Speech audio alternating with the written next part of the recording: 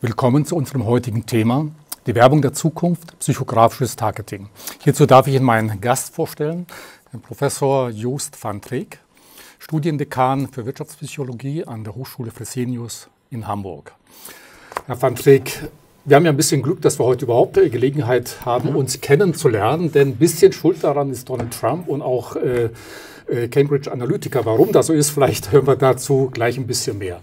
Äh, psychografisches Targeting hört sich erstmal recht kompliziert an. Erklären Sie vielleicht uns mal den Begriff. Was ist das eigentlich? Also letzten Endes ist es gar nicht so kompliziert. Im Grunde ist es auch kein Fortschritt, sondern ich spreche quasi immer davon, dass wir eigentlich einen Schritt nach vorne 100 Jahre zurück gemacht haben. Also all das, was ein guter Verkäufer immer schon konnte. Ich spreche gerne von Tante Emma und heute Tante Emma 2.0, was Tante Emma oder der Autoverkäufer sehr gut konnte das versuchen wir quasi wieder in die digitale Welt zu bringen. Denn in einer ganz kurzen Sequenz, ich gehe in den Autohandel rein, dann scannt mich der gute Autoverkäufer und weiß haargenau, hm, den Van Treek, dem lasse ich erstmal fünf bis zehn Minuten mit dem Auto ganz alleine, bevor ich den anspreche. Und bei jemand anders merkt er dann sofort auf den los mhm. und mit dem Reden. Das ist eine bestimmte Kompetenz, die ähm, wir quasi übersetzen können in die digitale Welt, um zu targeten, nicht mehr nach 19 bis 49 und männlich, sondern eben, was ist das für ein Mensch? Wie ist denn die Idee überhaupt entstanden? Die Idee, die ursprüngliche Idee hat, hat glaube ich, mehrere Startpunkte. Zum einen liest man schon sehr, sehr lange in unterschiedlichen Lehrbüchern, sowohl für die Betriebswirtschaftslehre, im Marketing, auch in der Psychologie, in der Wirtschaftspsychologie, dass wir quasi ein Ende erreicht haben, was das soziodemografische Targeting angeht. Und immer mit dem Hinweis in den, in den Lehrbüchern, dass da jetzt irgendwie was Psychografisches kommen muss, was Psychologisches kommen muss, aber ohne eine Antwort, wie das Ganze aussieht. Das ist einmal so eine Wurzel. Und die zweite Wurzel ist eine ganz pragmatische, wo mich dann quasi ein, ein Vordenker ähm, des Targetings, der Wolfgang Bescheid von, aus der Serviceplan-Gruppe von Mediascale, vor Jahren mal angerufen hat in 2011 und sagte, Mensch, Van Treek, damals waren wir noch auf Sie, äh, Mensch, Van Treek ist hier irgendwie so zur Demografie, ich glaube, das funktioniert nicht mehr. Ich verdiene da zwar mein Geld mit, aber wir müssen mal nach vorne schauen. Hast du nicht eine Idee? Und da haben wir dann damals das erste Mal etwas entwickelt, was tatsächlich Zielgruppen identifiziert hat nach Persönlichkeit und nicht nach Alter, Einkommen und Geschlecht. Ich glaube, damals hatten Sie sogar eine große Mini-Kampagne gemacht ja, oder genau. Ähnliches. Ich kann mich irgendwie daran erinnern, wo Sie jetzt das so erzählen ja. dann, ja. Also 2011, das ist jetzt schon wirklich etliche Jahre hm. her, ähm, haben wir das damals gemacht für einen BMW 1er, hm. wo man sagen konnte, okay, wer ist denn hm. so die Zielgruppe für ja. einen BMW 1er? Da haben wir einmal den, ähm, so einen Golffahrer mit Geld, hm. ja, also jemand, der sagt, ich brauche irgendwas mit einem guten Wiederverkaufswert, mit einer hohen Qualität, wo die ganze Familie reinpasst und am besten noch hm. mit einer guten Finanzierung. Und auf der anderen Seite ist so ein 1er BMW ja auch was für den kleinen Angeber, ja, der irgendwie ein heißes, kleines Rennauto haben hm. will und dann noch ein BMW. Da merkt man schon, das sind Personen, die muss man ganz anders mhm. ansprechen. Das war damals ein Case, der ist dann präsentiert worden auf der Demexco mhm. 2011, 2012. Alle haben applaudiert, fanden es toll. Keiner wollte es kaufen. Die Zeit war einfach noch nicht reif. Ähm, ja, die Zeit ist noch nicht reif. Dann ist irgendetwas passiert. Ich habe äh, zum Einstieg auf Donald Trump hingewiesen, der ja an ja. sich immer sehr gescholten wird und auf Cambridge Analytica. Was ist da passiert? Wodurch, wo, was haben die damit zu tun, dass es mehr ja. Aufmerksamkeit generiert hat? Eigentlich ja, eigentlich ja schade, dass es so ein negatives Ereignis ist, was dann quasi so ein Thema so nach vorne spielt. Aber wir nehmen jetzt einfach die positivsten Konsequenzen davon. Das war Ende 2016, quasi kurz nach der Wahl von mhm. Trump ähm, wo sich alle gewundert haben, wie konnte das denn funktionieren, ähm, gab es einen Artikel von Mikhail Kosinski, der hieß, ich habe die Bombe nicht gebaut, ich habe nur gesagt, dass sie gibt. Und der Mikhail Kosinski war einer der Forscher aus dem allerersten Kreis, aus dem sich hinterher Cambridge Analytica entwickelt hat. Der hat quasi den ersten Datensatz irgendwann mal erhoben in Facebook mit, einem ganz, mit einer ganz anderen Absicht. Ähm, eigentlich für Forschungszwecke, für psychologische Forschungszwecke und das ist dann quasi so ein bisschen missbräuchlich verwendet worden, auch seiner Ansicht nach damals schon. Und der hat halt quasi das erste Mal aufgedeckt, Mensch, da ist was passiert, mhm. was nicht so ganz astrein ist. Und quasi, das ist rausgekommen, glaube ich, Anfang 1., 2., 3. Dezember. Und mhm. am 4. Dezember stand bei mir das Telefon nicht mehr still. Mhm. Müssen Sie jetzt Tantiemen nach Amerika irgendwie bezahlen? Oder? Ja, also eigentlich müsste ich mal, wenn ich Michael Kosinski mal irgendwann treffe, dem müsste ich mal mindestens einen ja. Kaffee ausgeben, wenn nicht sogar ein bisschen mehr. Ja. Ähm, aber der ist auch ja. ganz gut im, im Forschungsgeschäft. Der hat damit tatsächlich sich auch viele Türen aufgestoßen als derjenige, der mit großen Datensätzen, psychologischen Datensätzen ganz spannende Sachen untersuchen kann. Ähm, stellen wir doch mal die beiden Methoden gegenüber. Die meisten Werber kennen ja das äh, soziodemografische Modell Targeting. Ja, da werden die Zielgruppen ausgesucht nach Alter, Geschlecht, Einkommen, Wohnort, genau. Äh, Familienstatus. Äh, vielleicht, äh, wo sind da die gravierenden Unterschiede und warum ist es und warum reicht heute dieses soziodemografische Targeting einfach nicht mehr aus, um wirklich seine Zielgruppe erreichen zu können? Ähm, ich glaube, wir müssen so, der allererste Punkt ist die Frage, die man sich mal stellen muss, warum machen wir denn überhaupt Zielgruppen? Ähm, das, viele machen das einfach, weil man es so macht, aber dahinter steckt ja schon eine gute Idee, nämlich, dass ich eine kommunikative Effizienz erreichen möchte. Das heißt, mit möglichst geringem Einsatz von Mitteln möglichst viele Leute besonders passend zu erreichen. Jetzt ist es aber so, dass wenn ich meine, wenn ich weiß, meine Zielgruppe ist Deutschland, in Deutschland, keine Ahnung, sind drei, vier, fünf Millionen Menschen, dann kann ich natürlich drei, vier, fünf Millionen Menschen nicht hoch individuell ansprechen. Also versuche ich nach soziodemografischem Targeting, soziodemografischen Zielgruppenbeschreibung, möglichst ähnliche Individuen zu identifizieren. Und dann überlege ich, wer fährt denn vielleicht ein, keine Ahnung, ein Mini oder was auch immer. Das ist dann die sportliche Variante vom Mini. Das sind vielleicht eher Männer, die müssen aber mindestens 25 sein, damit die genug Geld verdienen. Die sind aber auch nicht älter als 55 mhm. vielleicht und dann sind die noch besonders sportlich und so schneide ich mir quasi dann aus ganz Deutschland so eine kleine, so ein kleines Stück raus ähm, und das ist schon gar nicht so unclever, weil in diesem kleinen Stück kann ich ziemlich sicher sein, da habe ich einen sehr engen kleinen Karpfenteich mit einer ganz, ganz hohen Dichte von Targets von Menschen, die das interessiert. Unser großes Problem ist aber, dass die Art und Weise, über beobachtbare Faktoren jemanden zu identifizieren, funktioniert leider nicht mehr so gut, wie das mal war. Wir haben, also wenn wir jetzt schauen, so in dem Alter, äh, in der Generation meines Großvaters, der hat mit 14 seine Lehre begonnen und ist in diesem Unternehmen geblieben, bis dass er in die Rente gegangen ist. Da war jeder Abend, begann um 20 Uhr mit mhm. der Tagesschau und am Sonntagabend auf jeden Fall den Tatort und es ging immer anfangs noch nach Italien in den Urlaub, später dann nach Holland in den Urlaub, aber es war quasi immer fix. Und für so eine Person kann ich tatsächlich auch sagen, Mensch, ja, der ist genau in, diesem, in dieser kleinen mhm. Zielgruppe und da gibt es auch viele, die dem ähneln. Aber das verändert sich natürlich extrem, wenn wir, sich, wenn wir uns anschauen, ich weiß nicht, was unsere, unsere Generation ist schon sprunghafter.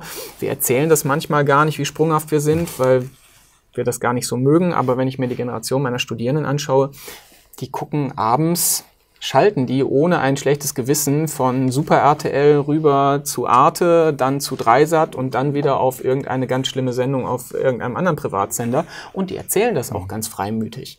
Wenn ich versuche, da irgendwie eine Gemeinsamkeit zu finden, wird es schon richtig schwierig. Und da habe ich dann natürlich über psychografisches Targeting, psychografische Zielgruppenbeschreibung schon die Möglichkeit zu sagen, was treibt die Menschen denn eigentlich an? Hm. Und daraus dann zu erklären, warum die sich denn für das eine und das andere in unterschiedlichen Situationen entscheiden. Vielleicht sollten wir das noch mal ein bisschen näher beleuchten. Sie erweitern ja das soziodemografische Targeting um zwei weitere Dimensionen. Mhm. Das ist die Persönlichkeit, aber auch Motive, Handlungsmotive. Genau. genau. Ähm, da, da, gibt es ja auch diese sogenannten Big Five, äh, ja, habe ich irgendwo genau. gelesen. Was ist das? Äh, was kann man darunter verstehen? Ähm, die, also in der Psychologie ist es leider so ein bisschen, ist ein Begriff doppelt belegt. Mhm. Nämlich, wenn wir von der Persönlichkeit eines Menschen sprechen, dann ist das so, ja, wie sind, Sie denn, Herr, wie, wie bin ich mhm. denn? Das ist die Persönlichkeit mit allen Eigenschaften, die erklären, wie wir uns im täglichen Kontext über viele Situationen hinweg verhalten. Die Psychologie unterscheidet da aber nochmal in in ganz, ganz viele Klassen, aber wir interessieren uns natürlich in der Werbung dafür für verhaltensrelevante Klassen. Und ähm, da kommen wir quasi nur noch bei drei Größen aus, die besonders gut dazu geeignet sind, Verhalten vorherzusagen. Und das sind in der allerersten Konsequenz Motive. Das heißt, was treibt denn den Menschen an? Und in jedem guten und schlechten Krimi fragt der Kommissar erstmal nach dem Motiv, um herauszufinden, warum denn jemand etwas gemacht hat. Das ist quasi auch das Erste, wonach wir differenzieren. Dann das Zweitbeste zum Vorhersagen von Verhalten sind die Einstellungen. Das heißt, wovon ist mein Denken und Handeln geprägt? Bin ich eher ein rationaler Mensch? Bin ich eher ein emotionaler Mensch oder eher ein handlungsgetriebener Mensch? Also der Dinge macht einfach, weil er es immer schon so gemacht hat. Und erst in der dritten Konsequenz, in der dritten Stufe zum Vorhersagen von Verhalten sind diese Big Five geeignet. Das heißt, die Persönlichkeitseigenschaften, bin ich extrovertiert oder bin ich introvertiert, bin ich gewissenhaft oder weniger hm. gewissenhaft? Und dann können wir jetzt quasi alle fünf durchgehen an der Stelle wundere ich mich tatsächlich, dass Cambridge Analytica diese Big Five so extrem nach vorne hebt und sagt, damit können wir hervorragend vorhersagen, wie sich jemand verhält. In der Rangfolge, wie wir das aus der psychologischen Wissenschaft seit 70, 100 Jahren wissen, sind die eigentlich erst an Klasse, an Stufe 3 von ja. der Vorhersagekraft. Vor allen Dingen, da kann sich ja auch eine ganze Menge ändern. Also als ich ein bisschen recherchiert habe für dieses Thema, mhm. habe ich auch ein Beispiel gelesen. 2011 begann diese Serie äh, Games of Thrones. Mhm. Wer damals das guckte, 2011, galt eher als introvertiert. Mhm. Dann ist ja die Serie so richtig äh, durchgegangen, wurde ein richtiger ja. Hit. Und heute kann man nicht wieder das Gleiche sagen. Wer die heute guckt, muss nicht unbedingt genau. introvertiert sein. Also wie kann man das dann auffangen, solche Dinge? Was Sie auch vorhin ja, ja. gesagt haben, Verhalten ändern sich. Ja. Aber wie fließt das ähm, dann ein? Das ist, äh, im Grunde ist es schon seit jeher die, die Kunst oder das, das Schaffen von Psychologen, nämlich ähm, zu versuchen abzuleiten aus einem bestimmten Verhalten, nicht von einem Verhalten aufs nächste Verhalten zu schließen, sondern von einem bestimmten Verhalten zu schließen auf überdauernde Persönlichkeitseigenschaften mit denen ich dann wiederum in anderen Situationen im Kontext die miteinander verrechnen kann mhm. oder sagen kann, naja, das ist jemand, der ist extrovertiert, der ist in dieser Situation heute, reagiert er folgendermaßen. Ähm, klassisches soziodemografisches Vorgehen und Targeting funktioniert danach. Menschen, die dies machten, machten auch das. Nämlich, dass man sagt, Mensch, alle Leute, die irgendwie Game of Thrones gucken oder alle, die Fahrrad fahren, die, keine Ahnung, spielen auch Tennis oder mhm. wie auch immer. Die gehen quasi gar nicht zurück auf die eigentlichen Persönlichkeitseigenschaften. Äh, was bedeutet das denn für, für die Werber insgesamt? Sie hm. müssen ja im Grunde ganz neu denken, was hm. Zielgruppenauswahl angeht, aber auch wenn man an Kampagnen rangeht. Also es hm. sind dann möglicherweise die üblichen Banner, die man immer noch schaltet und die normale Anzeige an sich äh, eine Sache, die man sehr schnell wieder wegstecken sollte. Muss man ganz anders jetzt herangehen? Im Grunde muss man auch nicht so viel anders rangehen. Wichtig ist nur, dass man den kompletten Prozess von ganz Anfang, von der Zielgruppengestaltung bis hinten, bis zur Auslieferung vom Werbemittel, und dazwischen steht dann ja noch Strategie und Gestaltung und Mediaplanung, wie auch immer, dass ich das tatsächlich komplett denke. Und auch da kann ich quasi, es klingt erstmal kompliziert, aber im Grunde ist es genau dasselbe wieder wie bei Tante Emma oder dem guten Autohändler. Ähm, ich muss mir nicht nur Gedanken darüber machen, wen habe ich denn vor mir, sondern ich muss mir als nächstes auch Gedanken machen, was für ein Thema ist denn für den relevant um dann passend dazu Werbemittel zu gestalten und die dann an die richtige Person auszuspielen. Das bedeutet, wenn wir jetzt bei dem BMW-Beispiel von vorhin bleiben, ist es klar, wenn ich dem, der dieses Auto eigentlich als kleiner Angeber haben will, wenn ich dem ein, keine Ahnung, ein leasinggrauen Fünftürer BMW mit einem, mit einem großen Kofferraum zeige, mhm. dann macht den das nicht so an. Ähm, andersrum, dem rationalen Golffahrer, der will gar nicht wissen, was für ein Rennauto das ist. Ich muss halt wirklich zielgerichtet wissen, wen habe ich vor mir und dann für denjenigen eine entsprechende Kommunikation auch vorhalten.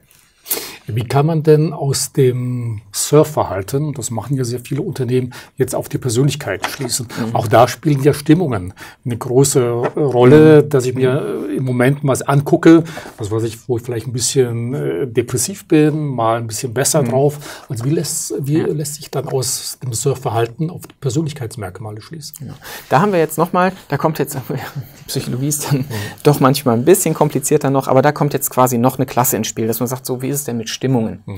In der Psychologie unterscheiden wir zwischen sogenannten States und Traits, ne, also dem Zustand, was so eher Stimmung, Emotionen sind, und dann dem, was überdauernd ist, die Persönlichkeitseigenschaften. Wir arbeiten im Moment sehr fokussiert mit den Persönlichkeitseigenschaften und nicht so mit den mhm momentanen Stimmungslagen. Bin ich jetzt gerade etwas trauriger oder bin ich ein bisschen fröhlicher, sondern nur grundsätzlich, was prägt denn jetzt gerade mein Gegenüber? Aber auch da gibt es unterschiedliche Nuancen. Das heißt, ich trage in mir quasi auch mehrere Persönlichkeiten, wenn man so will. Ich habe vielleicht ein ausgeprägtes Leistungsmotiv. Das kommt besonders in den Vordergrund, während ich auf der Arbeit bin, in einem Leistungskontext. Aber ich habe auch ein ganz ausgeprägtes Anschlussmotiv. Das kommt dann abends, wenn ich in den Feierabend gehe und meine Freunde treffe. Dann rückt dieses Leistungsmotiv extrem in den Hintergrund. Und ganz wichtig ist der Austausch und der Anschluss. Und dann agiere ich danach. Kann man das lesen mhm. aus dem Surfverhalten? Ja, das kann man lesen aus dem Surfverhalten. Hand aufs Herz, das Lesen ist weit entfernt von dem, was wir normalerweise in der psychologischen Diagnostik verwenden. Aber hier geht es ja nicht darum zu identifizieren, hat jemand eine Depression oder nicht und wie mhm. muss ich diese einzelne Person behandeln, sondern nur eine Grundeinschätzung, quasi wieder wie unser Autohändler. Hm, Habe ich es eher mit jemandem zu tun, der sich gerne unterhält oder ist es eher jemand, ähm, dem ich erstmal ein bisschen Zeit für sich lasse? Ähm, wenn wir überlegen, wer guckt denn unsere Sendung? Mhm. Ja, das ist ja immer die entscheidende äh, Frage. Wie erreiche ich meine Zielgruppe möglichst ohne Streuverluste? Mhm. Jetzt kenne ich das soziodemografische Modell und das äh, psychografische äh, mhm. Targeting. Mhm. wie geht man denn da jetzt in der Praxis heran? Ja, mhm. gut, Zielvorgabe ist, wir wollen die Zielgruppe möglichst ohne wenig Streuverlust erreichen. Hm. Jetzt habe ich das von Ihnen gehört. Ja. Wir kennen das alte Modell, aber wer, wer was sind dann die ersten Schritte? Wie geht wer schaut vor? denn im Moment Ihre? Wie ist denn wäre Ihre Zielgruppendefinition soziodemografisch im Moment? Gut, das sind natürlich viele Unternehmer, Selbstständige. Ja. Selbstständige Unternehmer, die werden ein bisschen älter sein. Wir sagen so mit 18, 20-Jährigen können wir nicht so viel anfangen. Ähm, was haben Sie sonst noch? Die werden vielleicht ein bisschen höheres Einkommen haben. Wofür interessieren Sie sich sonst Und das sind noch? wir wieder soziodemokratisch. Ne? Da sind wir bei soziodemokratischen, ja. genau. Ja. So, das schauen wir jetzt an, nur dass wir so dieses Kontrastbild ja. dazu haben. Ähm, wie geht man da vor? Ich muss als erstes quasi mal untersuchen, was liefert denn überhaupt mein Produkt? Weil es muss ja einen Nutzen haben, eine Relevanz für meinen Konsumenten. Und dann kann man sich hier unser Format, Ihr Format, kann man sich anschauen und sagen, na ja, ähm, wem macht das denn besonders Spaß? Und das werden Menschen sein, ist jetzt so meine Einschätzung aus dem Bauch heraus, tatsächlich Menschen mit einem durchaus ausgeprägten Leistungsmotiv. Die wollen informiert sein, die wollen die neuesten Trends kennen. Ähm, das ist eine Zielgruppe, für die das denn spannend ist. Das kann man mit einem normalen Test mhm. machen, wo ich das einer Zielgruppe dann zeige und sage, wie ist denn eure Persönlichkeit, hat euch das gefallen, hat euch das nicht gefallen und da kann ich einschätzen, wem macht das denn besonders viel Spaß. Wenn ich das einmal weiß, nehmen wir an, das sind Leistungsmotivierte und das sind vielleicht auch ein bisschen emotional Leistungsmotivierte, weil die sagen, ich setze mich jetzt nicht an ein Lehrbuch oder vielleicht noch in eine Universität, sondern mhm. ich mache ein paar schnelle Insights, ein ja. Video, wie auch immer, vorsortiert, zack, zack, äh, Informationen rein. Ähm, dann kann ich halt wiederum im Netz auch identifizieren, ähm, wo ist denn ein ähnliches Verhalten zu finden. Mhm. Wo treiben sich denn Menschen rum, die ein ausgeprägtes Leistungsmotiv haben und recht emotional sind. Ähm, wenn ich das richtig äh, verstehe, bedeutet das aber auch einen sehr hohen organisatorischen Aufwand von finanziellen Dingen mhm. gar nicht zu sprechen. Wie aufwendig muss man sich das Ganze vorstellen? Man muss ja sehr ja. viel mehr wissen, sehr viel mehr recherchieren. Ja, also letzten Endes, ähm, ich glaube gar nicht, dass der Aufwand so viel höher ist. Mhm. Wenn man sich anschaut, was im Moment quasi in der, in der Werbe- und Mediaplanung getrieben wird, ist der Aufwand quasi genau derselbe. Es ist nur eine Frage von einer anderen Auswertung der Daten. Man schaut einfach aus einer anderen Perspektive darauf und man hat schon vorher sich Gedanken darüber gemacht, was kann denn mein Produkt und was kann es denn nicht und welcher Zielgruppe kann ich das denn angedeihen mhm. lassen. Ich muss halt nur ein neues Verständnismuster darüber legen tatsächlich sind wir im Moment noch in so einem Bereich, wo wir ja quasi so, so Vorreiter, Pilotprojekte mhm. fahren, da ist natürlich der Aufwand ein bisschen größer und da lohnt sich das für, einen für einen größeren Werbekunden wie Mini eher mal als für irgendeinen kleinen Hersteller von Hosen oder keine Ahnung, Zahnbürsten ja. oder was auch immer. Aber im Grunde sind wir ganz klar auf dem Weg zu sagen, das ist ein Prozess, den kann man sehr simpel runterbrechen, man kann sehr simpel raussuchen, was hat denn mein Produkt für Vorteile, um dann hinterher auszuwählen, auf welche Zielgruppen geht es denn. Bei der Entscheidung, was man einsetzt, geht es da um ein Entweder-Oder oder immer gemeinsam? Das ist, das ist quasi ein immer gemeinsam. Ja. Ja, dann, also dann wäre, glaube ich, auch so ein, so ein Modell und neue Herangehensweise mhm. quasi zum Scheitern verurteilt, wenn wir sagen würden, schmeißt bitte alles über Bord, was ihr bisher gemacht habt. Ähm, und das ist alles Unsinn gewesen. Wir wissen ja, dass das nicht Unsinn gewesen ist. Es funktioniert ja ganz gut. Wir wollen einfach nur noch ein paar Kohlen mit aufs Feuer legen und eine neue äh, Erkenntnisstufe. Gut, letztendlich geht es ja um das Ergebnis. Genau. Äh, ja. Das, was sich verändert, ist Folgendes: Wir stellen quasi ins Zentrum ähm, die Psychologie die Psychografie A unseres Produktes im Match mhm. zur Zielgruppe. Und dann setze ich hinterher wieder Soziodemografie ein, wenn ich sage, oh Mensch, jetzt ist meine Zielgruppe ein bisschen zu groß geraten. Das sind ja in Deutschland, keine Ahnung, sieben, acht, neun Millionen Menschen. Ich habe gerade mal ein Budget, um, keine Ahnung, nur vier Millionen Menschen zu erreichen mhm. oder zwei Millionen. Dann ist Soziodemografie ein extrem sinnvolles, das sinnvollste Werkzeug, um meine Zielgruppe wieder einzuschränken. Dann kann ich mir vorstellen, dass bei einem Auto ich entscheiden könnte, naja, die sollten mindestens 18 hm. sein, damit die einen Führerschein mhm. haben. Oder ich kann mir vorstellen, bei, äh, keine Ahnung, einem Herrenanzug, äh, dass Frauen anzusprechen vielleicht mhm. doch nicht ganz so sinnvoll ist. Auch da gehe ich immer wieder in Diskussion und sage, Momente mal, wer überzeugt den Papa davon, dass das Auto ganz toll ist? Vielleicht der 16-jährige hm. Sohn. Und wer überzeugt denn ihn davon, dass der Herrenanzug ganz toll ja. aussieht, nämlich die Frau? Trotzdem sind es natürlich Erwägungen, die ganz logisch sind, wo man sagen kann, da schränke ich nochmal ein.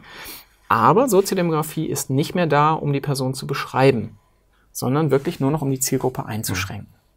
Und Hand aufs Herz. Also das erste Kriterium, ob die überhaupt ein bisschen näher definieren genau. zu können. Genau. Ja. Weil auch Hand aufs Herz, wenn ich sage, ähm, also ich, wenn die Zielgruppenbeschreibung, die wir haben, wenn ich mir anschaue, dass alle Männer zwischen 45 und 50, die in Großstädten in Deutschland wohnen, ein Haushaltsnettoeinkommen zwischen 3.000 und 5.000 Euro haben, das ist schon eine sehr feine Zielgruppe, mhm. dass die alle ein und dieselbe Person sein sollen, puh, da läuft es mir kalt den Rücken mhm. runter, wenn ich drüber nachdenke. Das kann einfach nicht sein. Und an der Stelle wird nochmal klar, welche besondere Relevanz das hat zu sagen, ich muss quasi auf die Persönlichkeit eingehen und es ist dann letztendlich vollkommen egal, ob die jung, alt, Mann oder Frau sind. Ähm, da hole ich quasi meine, meine Leistung her. Ähm, wichtige Frage natürlich auch, woher kommen eigentlich die ganzen Daten, die für das mhm. psychografische Targeting eingesetzt oder verwendet werden? Mhm. Das ist eine ganz klassische Frage, weil ja sofort die Befürchtung besteht, Mist, jetzt muss ich ganz andere Daten und viel mehr Daten und noch neue Daten ähm, äh, zusammensammeln. Das ist nicht der Fall. Also ich hatte damals, bin ja ziemlich äh, blauäugig, ohne Wissen davon, wie diese Mediabranche, die Werbebranche funktioniert, bin ich da reingegangen und war dann erstmal überrascht. Wenn wir an einem keinen Mangel leiden, dann sind es Daten. Mhm. Ja, und auch Möglichkeiten, Daten zu erheben. Ähm, das heißt, alle Daten, die wir brauchen, um zu bestimmen, was ist das für eine Person, sind auf jeden Fall in Unternehmen vorhanden, die auch nur rudimentär Daten sammeln. Ähm, da sei es quasi die Cookie-Daten von der eigenen Webseite, die Verläufe, die man hat, oder CRM-Daten oder, oder, oder. Warum sind quasi alle Daten sinnvoll verwendbar? Weil ich ja quasi nie was anderes mache, als menschengemachtes Verhalten, also alle Daten, mhm. die menschengemacht sind und nicht von einer Maschine, die kann ich quasi wiederum übersetzen in die kernpsychologischen Beschreibungsdimensionen. Ähm, das ist einfach das Standardhandwerkszeug des Psychologen. Äh, wenn wir über Daten sprechen, liegt es nahe, auch über Datenschutz äh, ja. zu sprechen. Jetzt im Mai gibt es ja die neue EU-Datenschutzgrundverordnung, die ja eine ganze Menge ändert, vor allem die Rechte der, mhm. des Bürgers äh, eher schützen soll. Im nächsten Jahr gibt es ja auch dann noch die E-Privacy-Verordnung, die das Ganze nochmal verschärfen soll. Welche Auswirkungen hat denn das neue Datenschutzrecht auf dieses psychografische Targeting? Ja, also in erster Linie müssen wir, glaube ich, immer ganz glücklich sein über diese neue Datenschutzgrundverordnung, ähm, weil einfach äh, tatsächlich zu viel Schindluder mhm. mit Daten getrieben wurde. Also ich, das sind all die Fälle, die wir kennen. Wir haben irgendwo mal ein Häkchen bei irgendeinem Mobilfunkvertrag oder keine Ahnung im Supermarkt gesetzt bei irgendeiner Bonuskarte und bekommen ab da dann Werbung für Dinge, die wir nie haben wollten. An der Stelle finde ich es ganz gut zu sagen, wir müssen quasi mal aufpassen. Es muss mal eine Regulation geben geben, die sagt, Moment, bitte lieber äh, Verwerter von Daten, gehe damit sorgsam um. Und auch das ist ja immer noch die Idee, ähm, dass ich als Werbetreibender meinen Kunden fragen darf, darf ich mit deinen mhm. Daten umgehen? Und dann kann ich sagen, ja, aber der Kunde hat halt ein bisschen mehr Macht darüber und kann nochmal sagen, du musst mir aber sagen, was du damit mhm. tust. Und du musst mir auch einfach die Möglichkeit geben, mhm. das wieder zu löschen und, und, und. Gehen wir jetzt mal davon aus, also ich gehe davon aus, dass wir äh, jetzt im nächsten Jahr, im Laufe des kommenden Jahres erleben werden, der nächsten zwölf Monate erleben werden, dass wir auf Webseiten, wo auch immer wir uns rumtreiben, noch häufiger klicken müssen. Ich bin damit einverstanden und ich habe auch gelesen, dass irgendwo eine E-Mail-Adresse steht, wo ich dann mich beschweren kann, wenn ich möchte. Aber letzten Endes den Konsumenten interessiert es nicht so großartig. Der Konsument wird eher auch genervt sein von diesen ganzen Logins, Haken, Opt-in, Opt-out, ja, möchte ich oder möchte ich nicht. Deshalb, ich befürchte jetzt erstmal nicht so große Konsequenzen. Daten können nicht mehr so ganz drastisch und einfach gesammelt werden. Ähm, es werden weniger Daten. Ähm, aber wie gesagt, ich habe das Gefühl, dass wir quasi sowieso einen totalen Daten-Overload haben und das, was noch übrig bleibt, wird immer dazu reichen, noch ein gutes Targeting zu betreiben. In diesem Zusammenhang ist es natürlich auch interessant zu wissen, Herr van Treek, was war denn so schlimm an, bei Cambridge Analytica? Was haben die da gemacht, dass das wirklich so negativ war? Ähm, bei Cambridge Analytica ist tatsächlich was gemacht worden, von dem ich auch denke, das ist sehr fragwürdig. Cambridge Analytica, meines Wissens nach, ne, wir müssen es immer beschränken auf das, was so an Informationen auch durchdringt. Cambridge Analytica arbeitet mit hochidentifizierten Daten. Das heißt, die können einsammeln über Facebook. Da habe ich den Herrn Blüchel, der ist so und so alt. Und dann werden da alle Daten hinten rangeschrieben. Und dann kann ich in den USA, ich weiß nicht, ob das dort geschehen ist oder nicht, aber in den USA kann ich dann noch mich bei einer Kreditkartencompany melden und sagen, Mensch, habt ihr irgendwie Daten über den Blüchel? Dann sagen die, ja, ja, für 7,58 Dollar kannst du die haben. Die werden noch hinten rangeschrieben. Dann kann ich mich beim Fitnessstudio melden und fragen, wisst ihr was über den? Ja, wird auch nochmal für 3 Dollar hinten rangeschrieben. Und dann kann ich mich bei der Telefongesellschaft melden und das wird auch nochmal hinten rangeschrieben. Und damit habe ich dann hochidentifizierte Daten und genau auf Sie als Person wird dann eine Nachricht ausgespielt. Und das ist etwas, was viele Menschen unruhig werden lässt, mich eben auch, wenn es hoch identifiziert ist auf die Person. Man kann dann aber auch ablesen, ähm, dass warum Cambridge in Deutschland oder in quasi in Europa außer UK quasi gar nicht agiert hat. Das liegt an unseren guten Datenschutzrichtlinien, EU Safe Harbor. Ähm, die Expansionspläne von Cambridge öffentlich gemacht waren halt in Nordamerika, UK, weil die jetzt raus sind mhm. aus der EU und die haben, glaube ich, ein Headquarter in Malaysia, also in Asien. Überall dort, wo man es mit, den Datenschutz, mit dem Datenschutz nicht so ernst nimmt wie bei uns in Europa. Ähm, deshalb müssen wir uns hier glaube ich, kaum Gedanken darüber machen. Und wenn jemand ein Thema damit hat, dann weil er seinen Facebook-Account in den USA mal angemeldet hat. Das passiert hier nicht. Deshalb stehen die, glaube ich, auch zu Recht in der Kritik. Auf der anderen Seite ist die Frage, wie machen wir das? Ähm, wie ist unser Vorgehen? Wir gehen quasi wieder genauso vor wie der Verkäufer. Wir nutzen quasi nur kurze Surfsequenzen, unabhängig davon, welche Person dahinter steht. Wird einfach nur gesehen, da geht jetzt gerade jemand ins Internet. Ich kann so ein bisschen seinen Pfad nachverfolgen, auf welchen Webseiten der war und danach entscheide ich jetzt, was ist das denn für eine Person und danach wird ausgesteuert. Danach werden die Daten sofort wieder weggeworfen. Nicht unbedingt, weil äh, wir das unbedingt müssten, ab Datenschutzgrundverordnung schon, sondern weil es einfach nur sinnvoll ist. Ich muss ja feststellen, in welchem Zustand ist denn die Person gerade. Ist es gerade das Leistungsmotiv während der Arbeitszeit oder ist es das Anschlussmotiv während der Freizeit, was gerade eben schlägt? Und das kann ich halt quasi nur an der letzten Surfsequenz identifizieren. Wenn man ein bisschen so in die Zukunft jetzt ein bisschen mhm. schaut, im Grunde sprechen wir jetzt über die personalisierte Werbung. Mhm. Im Bereich Medizin, das kennen Sie wahrscheinlich auch, gibt es ja auch die personalisierte Medizin, aber auch die individualisierte Medizin, mhm. also ein Aspirin nur für den Professor Joost van Treek. Ist sowas auch mal im Bereich Werbung vorstellbar, dass man sagt, okay, ich kann die Werbung so gestalten, dass ich weiß, okay, der fährt nur so ein Auto, der mag nur äh, mhm. dunkelblaue Jacketts, äh, der trägt diese mhm. Socken und so weiter. Ist das mal vorstellbar? Das ist absolut vorstellbar. Ähm, und ich glaube, dass die Datenschutzgrundverordnung da sogar mithilft, das zu beschleunigen. Ähm, weil ja immer mehr gefordert wird, dass ich den Kunden ganz explizit frage, darf ich deine Daten verwenden? Vorher musste ich mich so ein bisschen zurückhalten und habe dann manchmal nicht gefragt, weil ich nicht fragen wollte, weil wer viel fragt, kriegt viele Antworten. Aber ähm, es wird jetzt so sein, dass äh, sich auch viele Medienhäuser zusammenschließen quasi, um so Login-Allianzen, mhm. dass quasi 10, 12, 20 verschiedene Medien ähm, sagen, wenn du dich bei einer unserer Seiten einloggst und sagst, das ist okay, dass wir deine Daten mhm. verwenden, dann können wir die auch überall verwenden. Und daran hängt dann ganz schnell auch zu sagen, Mensch, wolltest du uns nicht ein bisschen mehr verraten? Mhm. Hat für dich zur Folge, dass du nicht irgendeinen Unsinn präsentiert bekommst, sondern extrem viel weniger Werbung. Dafür passt die aber perfekt auf dich. Ich glaube, das wird eher auch die Zukunft sein. Ist das auch einer der Gründe, warum Sie gesagt haben, okay, ich bin zwar Prof an der Uni, äh, mhm. wenn ich das so salopp sagen äh, darf, sondern Sie beschäftigen sich jetzt auch als Unternehmer genau mit diesem Thema? Ja, das ist natürlich so die Konsequenz. Mein Herz schlägt mhm. tatsächlich als Professor dafür, ähm, alles, was wir so an Wissen generieren, auch auf die Straße mhm. zu bringen. Ich bin besonders glücklich, wenn ich sehe, da funktioniert auch etwas. Also nicht nur der Theoretiker, der genau. beweisen kann, auch dass es funktioniert. Genau, da gibt es Kollegen, die beschäftigen sich mhm. damit und sagen, wunderbar, ich gebe noch ein bisschen den letzten Effekt rein. Mein besonderer Antrieb ist zu sagen, ich bin gespannt, wie können wir das denn tatsächlich umsetzen, wie funktioniert das draußen auf der Straße.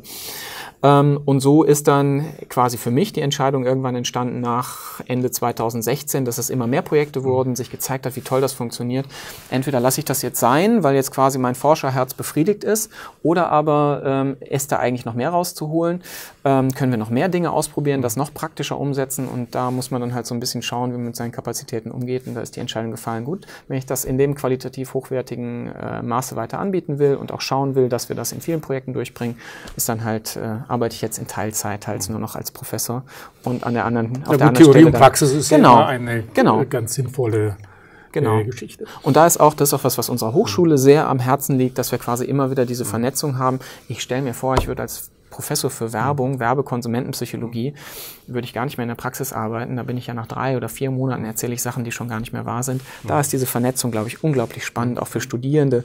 Ich bekomme auch immer diese Feedbacks. Wir machen auch viele Projekte, wo wir das dann nochmal an der Uni testen können.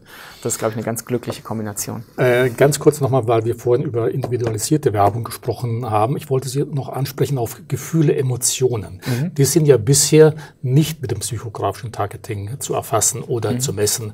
Ist das auch noch so eine Zukunftsvision zu sagen, okay, wenn ich das weiß, bin ich schon fast auch bei der mhm. individualisierten Werbung? Ja.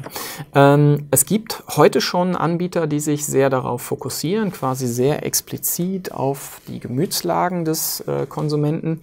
Ähm, so wie wir das im Moment ähm, halt vorhalten, ist es tatsächlich zu sagen, wir wollen über die stabilen Themen gehen mhm. und nicht die hochsituativ, sondern wir sind auch situativ, dass ich sage, irgendwie im Leistungskontext bin ich anders als im Anschlusskontext, ja, aber eine Stimmung ist noch nicht dabei. Das wäre quasi so für mich als Forscher die nächste Ausbaustufe zu sagen, okay, wenn ich den Grundstrom habe, dann kann ich quasi hinterher auch nochmal messen, mhm. ähm, wie es denn mit der äh, momentan emotionalen Lage aussieht.